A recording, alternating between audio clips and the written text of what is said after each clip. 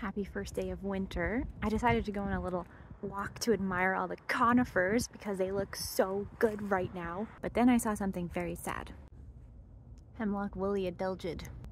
Let's take a look. Ugh, gross, no. The hemlock woolly adelgid is an insect, kind of like an aphid, that chows down on hemlock trees. They slurp on all of the sugars in the hemlock tree cells, but they do so much damage in the process that they eventually kill the tree after a few years. These all have it. That one too.